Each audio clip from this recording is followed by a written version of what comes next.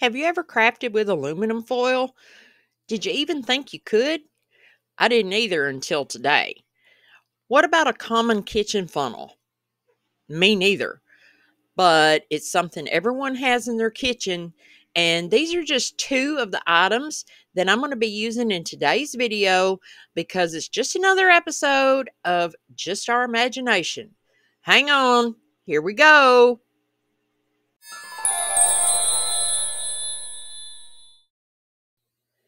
To start this one off, I am using the first challenge item, which is aluminum foil, or as I like to call it, tin foil.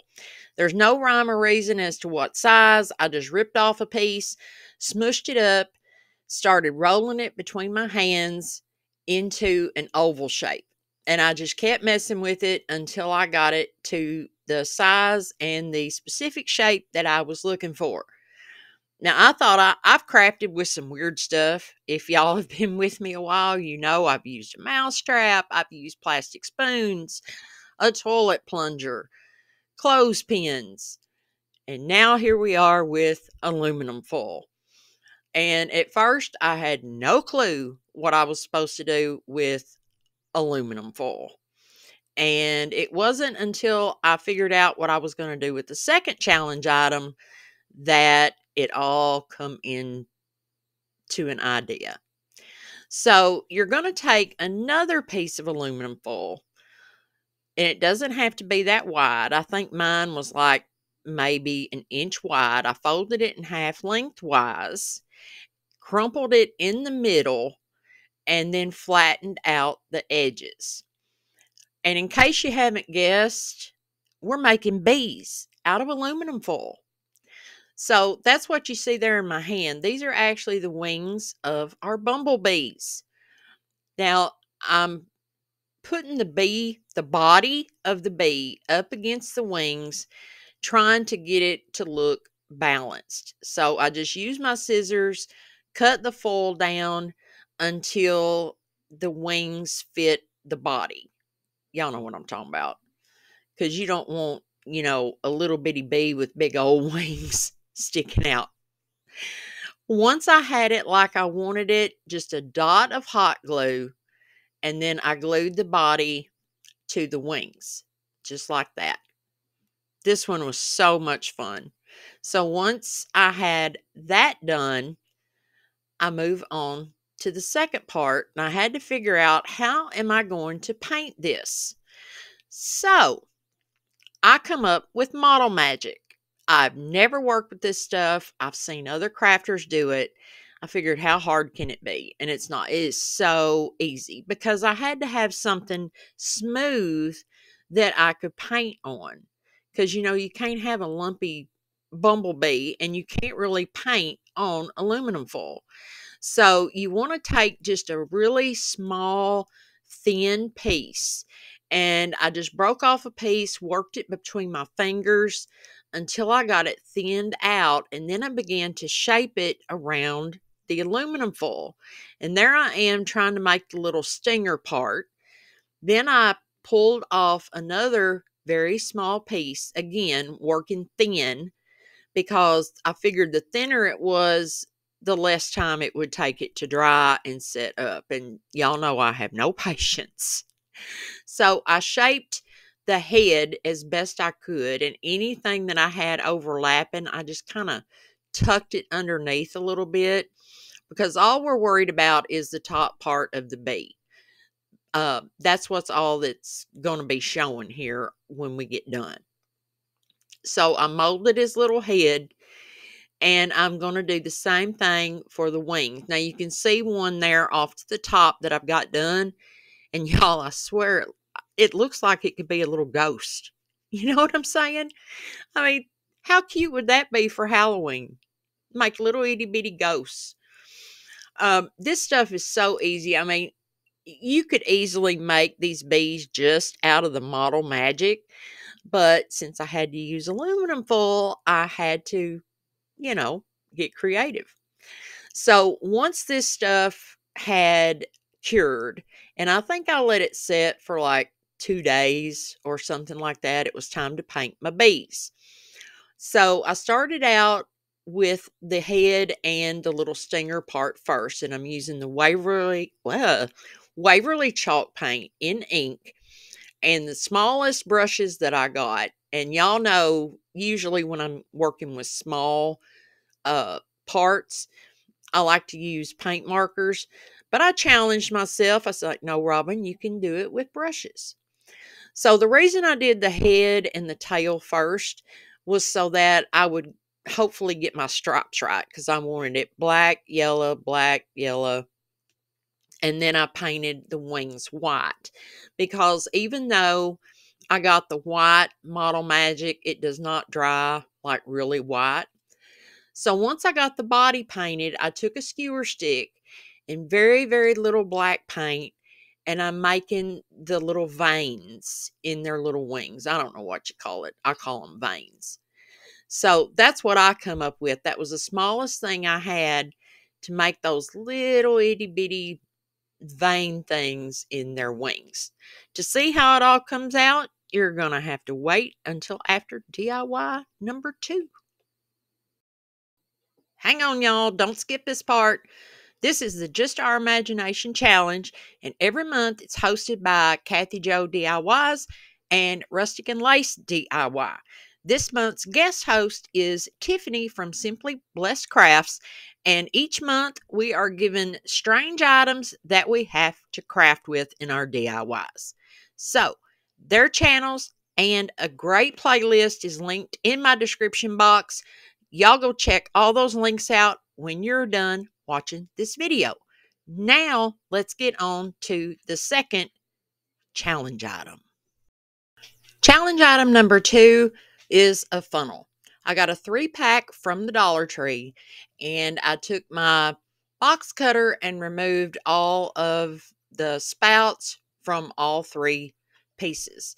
Now, these are pretty thin, so they cut apart fairly easily. Um, if you've got a wood burner or a hot knife, that would make it a lot easier. I also cut off the little hanger part thingy, for lack of a better word, off of all three pieces. Now you're going to need about four packages of the Dollar Tree nautical rope. I suggest going to Walmart or somewhere else and buying a big roll of rope, um, I think it would be more economical.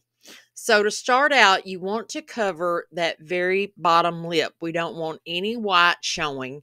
And all you're going to do is use a ton of hot glue and stack each row of rope on top of the one below it. Now, originally, I was going to make three separate beehives. In case you hadn't figured it out, these are beehives. But as you will see here in a few minutes, I changed my mind. So there I am, just continuing to stack the rope using lots of hot glue as I go. And this is such a high end piece, y'all. I absolutely love it. If you are enjoying this video, please give it a big thumbs up that really helps out and it lets me know you like what I'm putting out there for y'all. Now, this is where I decided to turn three beehives into one big one. So I made some marks on all three, and that way I would know where to stop wrapping each individual one. Now, I wished I'd have thought this out a little bit better, but um, anyway, it is what it is. So if you get a three pack of funnels, just stack one on top of the other and glue them before you start wrapping because I change my mind. You know, y'all know that. I change my mind all the time. So I just wrap each one until I hit that black mark. I would also like to invite you guys that haven't subscribed yet go ahead and click that subscribe button. It would really help me out and it shows me that you really like this content. Share it with your family and friends. That way, YouTube recognizes me just a little bit more because right now we may be a small channel, but I hope by the end of the year we're going to end up with 10,000 subscribers. That is my goal, and I know you guys can help me get there. So thank you in advance.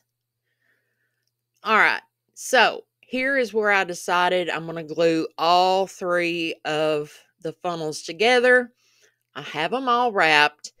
And as you see, I made a little opening there that's supposed to be the opening of the hive with an extra piece of rope. And this is optional, but I have to burn off the fuzzies because the fuzzies drive me absolutely crazy. If you are going to do that, just keep a cup of water close by. Next, I am using regular hot glue to make my honey drips. Now, if you have the colored glue sticks, perfect, you're in business. I didn't. So, I'm just going around the opening of the hive, making honey drips, letting it pool in certain places. And once the glue has completely hardened, I'll go back in and paint it with some yellow paint. This looks so good, y'all. I can't wait for you to see what it looks like in the end. I think it's my favorite project, my favorite two projects actually, because the the bees and this one, oh my gosh, they look so good together. Now I'm using King's Gold. I like the color, but when it dried, it was a little bit too dark, I thought. But I go ahead here and I'm I'm dabbing this on. So if you use acrylic paint, I found it was better to dab it on rather than try to brush it on. Um, but in the background there, you see I have the Waverly Maize chalk paint. And in the end, I do end up going over this King's Gold with that maize chalk paint. I think it just looks better. I think it looks more realistic because, as I said, this King's Gold just dried way too dark for me. But you use whatever color of yellow or glue sticks, whatever you have, just use that. So once that part was done, I'm going to dress this thing up. So I took some leaves from my stash I got some sunflowers and I'm just going to attach this to the top using regular hot glue. And now it's time for our bees that we made in the first DIY to be attached down. And this little fella is going straight for the center of the sunflower. These turned out so stinking cute, y'all. Oh, I love it so, so much. I want you guys to let me know what you think when you see the final reveal. I'm so excited for this. Once all my bees were in place, I thought we're going to light this puppy up. So I had these um it's it's lighted greenery garland stuff that I got from Dollar Tree. Gosh, I don't I don't know. I've had it a while and all I'm going to do is just take little bitty dots of hot glue and glue it down in a couple of spots just to hold it in place. Now, I didn't glue it down to the wood round because obviously I wouldn't be able to reach the battery pack to turn it on and off. But look how amazing this turned out, guys. I love it. There it is all lit up. This is so, so pretty. You guys let me know did I nail it or did I fail it? Comment down below and let me know your thoughts on the bees and this beautiful hive.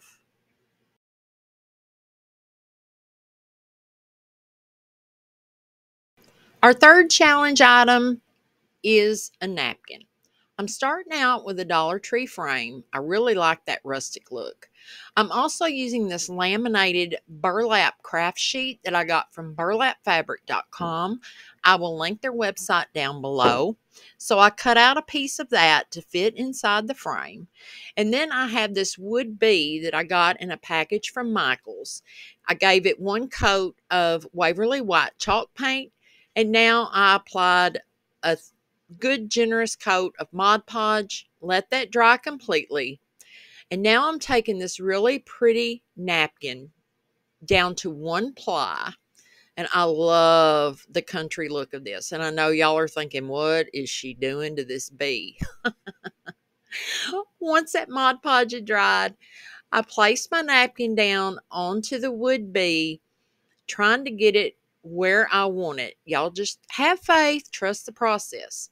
Now, if you've never used the iron on method for um, decoupaging, this is practically foolproof. Once you lay your napkin down, you're going to put a piece of parchment paper on top of your napkin. You're going to use an iron, a household iron will work just fine. Just make sure you have the steam turned off. I start in the center and go out to the edges, and this is going to reactivate the Mod Podge. There are no wrinkles using this method. I absolutely love it. And my gosh, this this bee turns out so cute. I can't wait for y'all to see it. Now, you can find these little mini craft irons just about anywhere. Amazon has them really inexpensive. Now, once this has had a chance to cool off, take a piece of fine grit sandpaper. And a lot of mistakes I see people do is they want to rub um, the excess off by going back and forth or up and down on the sides. Don't do that. You want to sand away from the edge of your project because if you go back and forth um, or up and down, you're going to run the risk of lifting um, your paper or napkin or whatever you've Mod Podge down off of your project, and nobody wants that. So, for those that don't know or maybe new to crafting, fine grit sandpaper is um, like the higher the number, the finer the grit. The lower the number, the coarser the grit.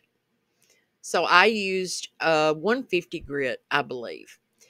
I laid everything out. I did not put the glass back into the frame. I'm simply gluing this bee down. Look how cute. So country, so farmhouse. I made a simple bow and I will be attaching one of those small little sunflowers that I think I got from Hobby Lobby for like 90% off after fall or whatever. But I think this is just enough. It's simple, but it's rustic, it's country, it's farmhouse.